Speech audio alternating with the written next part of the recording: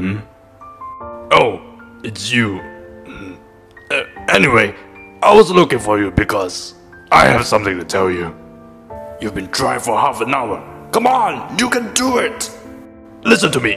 I, uh, I have something to tell you, and and and more.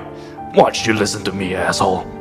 I've I felt things for you. You know, those kind of things you feel when you're attracted to someone else, and the things that I haven't felt in a long time.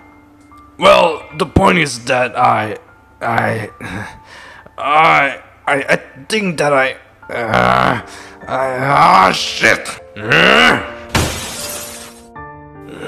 But why is it so hard to say?